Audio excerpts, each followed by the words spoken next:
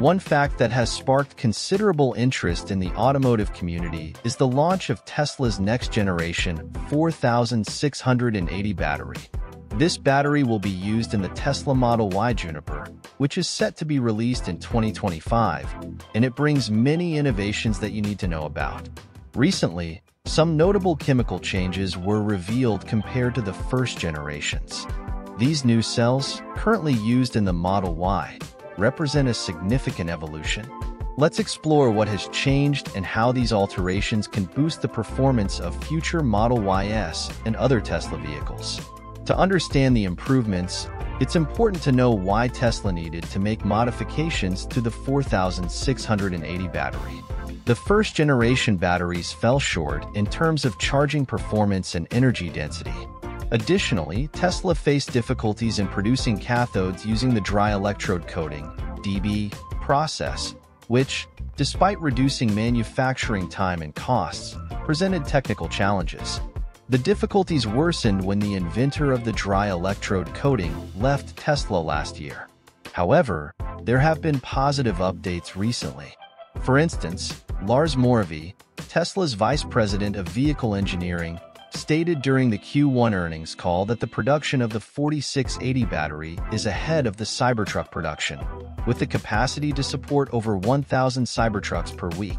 Despite this good news, if Tesla does not resolve the main performance issues of the 4680 battery, mass production will still result in a subpar product. At a previous investor conference, Drew Baglino, one of Tesla's executives, revealed that they are ready to launch an improved version of the 4680 cells, with 10% more energy density than the first generation design. This 10% improvement in energy density was achieved through process optimization and mechanical design. Here in Texas, Tesla is preparing to launch the Cybertruck cell, which has 10% higher energy density. Fortunately, Tesla has introduced significant changes to improve the 4680 battery in the second generation, mainly by altering the battery's chemistry. One of the main discoveries was the increase in energy density, achieved primarily through a lower profile battery cap design, increasing the space available for the electrodes. The additional possibility of a thinner external cell was also considered. James Ma and his team revealed new details about the changes in the cathode and anode chemistry of the 4680 Gen 2 battery. According to James, the new battery in the Model Y is produced at the Austin Gigafactory in Texas and is based on NCMA chemistry, with a ratio of 82% nickel, 11% cobalt, 5% manganese, and 3% aluminum. Compared to Gen 1, the amount of nickel and aluminum slightly increased, while cobalt decreased. For the anode, it is made of natural graphite and doped with a small amount of silicon, similar to the Gen 1 anode. These adjustments are crucial to understanding how Gen 2 outperforms Gen 1 of the 4680 battery.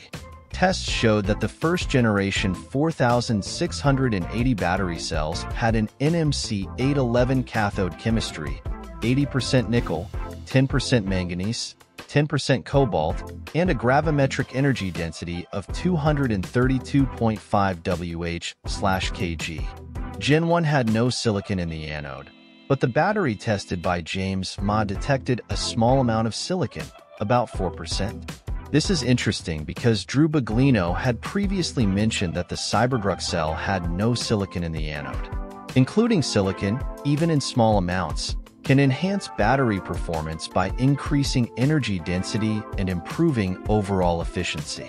Tesla is focused on achieving its energy density targets with the Cybertruck cell. Besides NCMA chemistry, Tesla is working to incorporate NMC 955 cathode chemistry in its 4680 batteries to replace NMC 811 chemistry. They are also experimenting with asymmetric lamination, where one side of the material is thicker than the other, to increase the capacity of the battery jelly roll that fits into the 4680 can. It's worth mentioning that Tesla is testing NMC 973 chemistry, another potential advancement expected to debut in late 2024. With all these changes in the new 4680 battery, we can expect a significant improvement in the performance of the Model Y and other future Tesla cars. Changing the battery chemistry was a smart move. Adding more aluminum to the cathode and reducing the amount of cobalt is a common strategy among battery manufacturers, as cobalt, while improving battery life and safety, is expensive and raises ethical concerns. The new chemistry can significantly reduce the battery cost and, consequently, the car's price. Moreover, since NCMA cathodes incorporate manganese and aluminum, they reduce cobalt dependence, addressing cost and sustainability concerns without significantly compromising battery performance.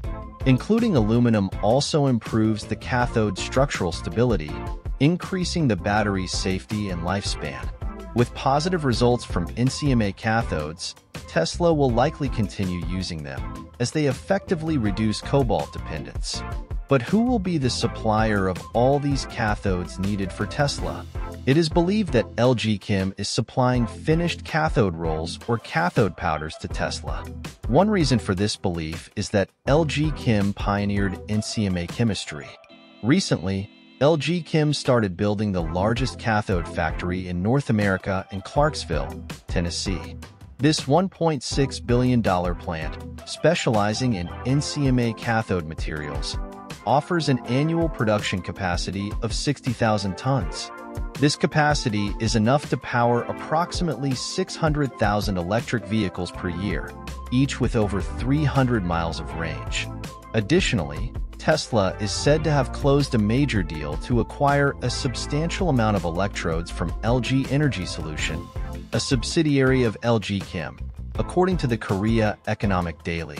An industry insider said Tesla's purchasing team recently ordered electrodes worth 6 trillion won from LG detailed discussions are ongoing, and a contract is expected to be signed in the second half of the year.